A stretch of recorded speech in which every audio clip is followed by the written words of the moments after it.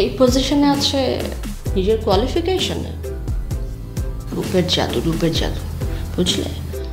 Must have slapped with boss প্রচণ্ড বসি প্রচণ্ড ডোমিনেটিং একজন মহিলা। মেয়েটার নাকি প্রমোশন হয়েছে? হবে না? কীরকম কাটা, ছেঁড়া ক্লিভেজ দেখানো, জামা কাপড় পরা, দেখো না। মেয়েদের আবার কাজ থাকা না থাকে কি? সংসার তো টানে সেই পুরুষরাই। কাজ আদায়ের জন্য একটু না কম্প্রোমাইজ করলে। ক্ষতি কি? শেষ পর্যন্ত কাজটা হলেই তো হলো। মেয়েদের কাছে চাকরি, কাজ কাজ নয়, শখ শখ। তো শেষ পর্যন্ত বিয়েতেই পরিণত।